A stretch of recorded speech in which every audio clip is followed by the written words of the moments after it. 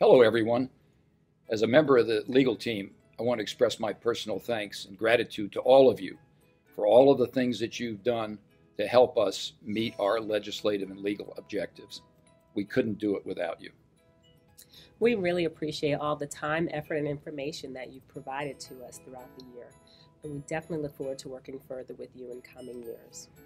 Thank you for advocating for the industry in state capitals across the country and through your support of Staff Impact.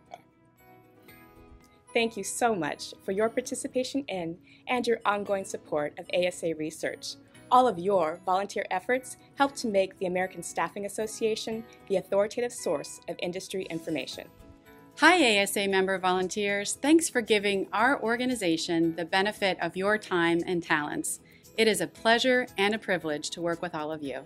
From the ASA Publishing and Marketing team, a heartfelt and enthusiastic thank you to all you volunteers who carve out time out of your busy days to get interviewed by Jen, Stephanie, and others for Staffing Success magazine and ASA for You. Thanks so much. You rock. We look forward to working with you. Thanks to your expertise, your ideas, and your advice, we're able to continue to advance the interests of the industry, create jobs, and continue to strengthen the economy. Thank you. Luke, I'm just thinking about how awesome our volunteers are and how much they rock. They do. Thank you for all of your support of ASA Central and ASA sections. We couldn't do it without you. Our volunteers contribute so much time, expertise, and energy and thoughtfulness to all that the association does.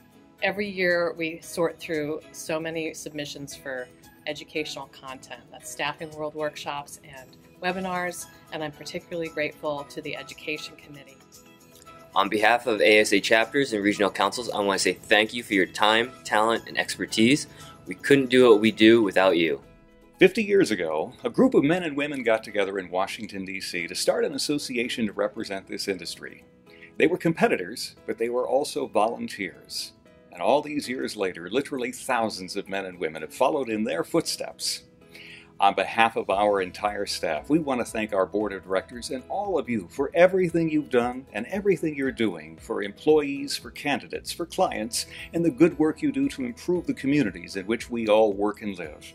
We're excited about the future and leveraging the opportunities that lie ahead for all of us. Again, on behalf of ASA, thank you, volunteers.